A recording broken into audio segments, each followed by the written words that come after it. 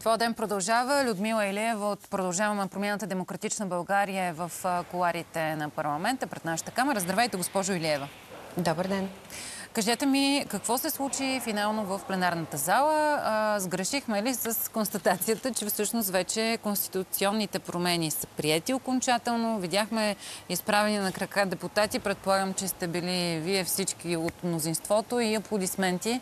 Но ме поправете, ако греша, разбира се. Видяхме го само на кадри без звук, докато водех друг разговор в коларите. Едно дългогодишно усилие на нас, демократичните сили, вече приключи. А, ние имаме пълното основание не само да сме емоционално щастливи, но и да имаме а, чувство на изпълнен дълг към нашите избиратели. Едно обещание, което ние поехме още с създаването на демократична България, днес вече е факт.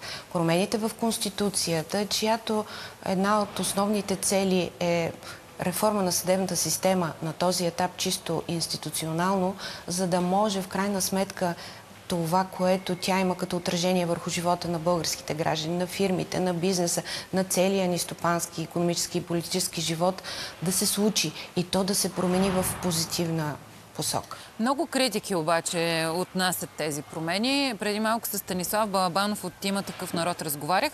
Няма да ви изненада тяхната позиция, сигурна съм в това.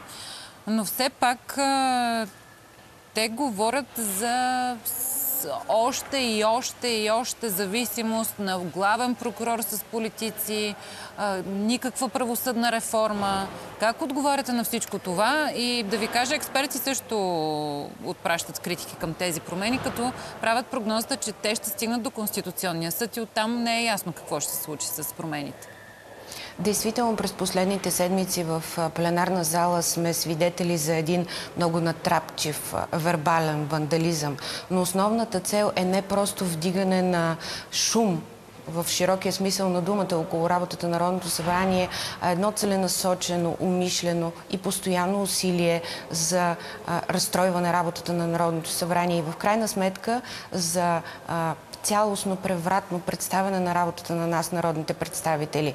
Ако те приемат, че действително гласуваните преди малко промени в Конституцията са противоконституционни, нека сезират Конституционния съд и в крайна сметка той да постанови дали действително има нарушаване на Конституцията или не. Но фактите са в съвсем различна посока кое не е осветляване работата на съдебната система. Това, че ще има повече контрол върху работата на прокурорите, това, че ще има повече независимост на съдиите, нали именно това е под фокуса на прожекторите е, на всички нас. разбирам аз, един от големите проблеми е начинът по който ще се назначава главния прокурор, ще се избира. Обяснете ни как това ще се случва на практика сега след тези промени. Първо, към момента имаме Висш съдебен съвет, който е в състав от 25 души. Тези 25 души продължават да са общия брой представители на Висшия съдебен съвет. Но този Висш съдебен съвет вече се разделя на две колегии. Едната, която ще контролира работата на съдиите и друга, която ще контролира работата на прокурорите.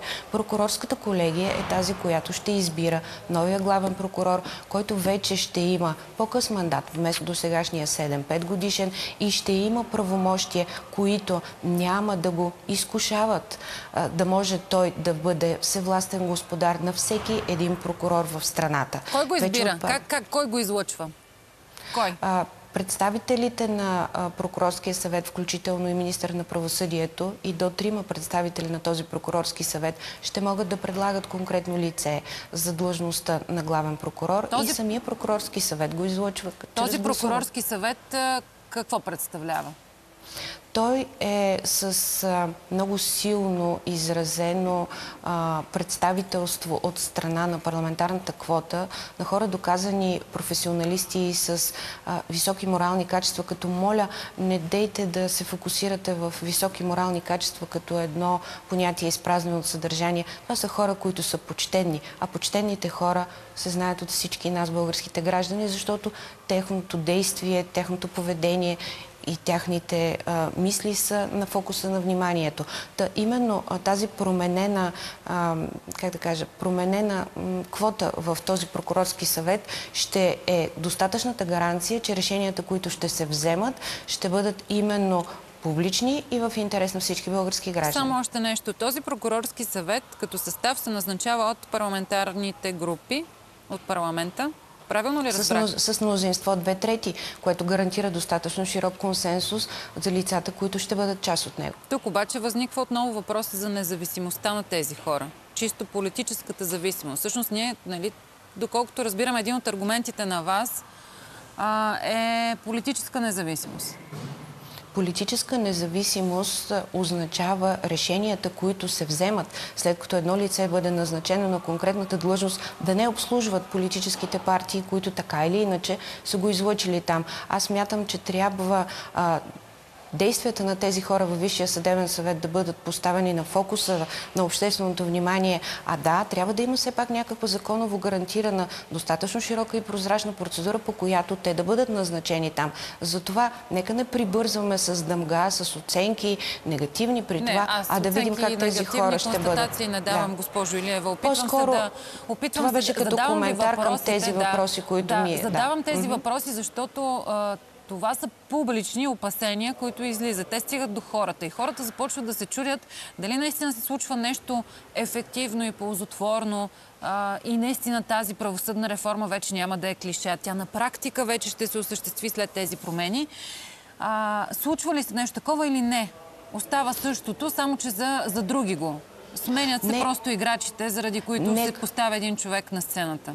Разбрах. Да. Нека не се фокусираме само върху един детайл от промените, които току-що бяха приели. Целта все пак е прозрачност в а, работата на прокуратурата и независим съд. Знаете ли, има анализ, който казва, че в 80 закона главният прокурор и въобще прокуратурата имат пряка намеса като контрол върху дейността на всички държавни институции. От тук насетне след тези промени, които ние гласувахме, си дадохме един 6-месечен срок, в рамките на който именно те първа предстои огромната работа, за да се прецени доколко наистина е било нужно прокуратурата да трябва задължително да бъде конституирана във всички едни сфери на обществено-економическия живот на българските граждани. Тоест, нека гледаме на тези промени в цялост, не се фокусираме в детайлите, за да може наистина да, се, да стане ясно цялото позитивно като резултат, което ще се получи от тях. И пак казвам, което е дългогодишно осъзнато усилие на българските граждани, които отговорно и до... се отнасят към промените. Благодаря ви, госпожо Илиева, за, за този разговор. Те първа, убедена съм в това и не защото аз правя някаква констатация, защото чувам какво заявяват и вашите колеги от опозицията, Представете, че... загубих връзка с студиото. Ами, да, той разговора ни приключи, но благодарим на госпожа Илева, макар и да не ме чува. Надявам се колегите да й предадат светли празници. Но те първа ще видим наистина тази дискусия, която правят като заявка от опозиционните парламентарни групи, че ще започнат и ще обжалват тези промени в Конституцията. До какво, до какво ще се стигне. Спирам до тук, уважаеми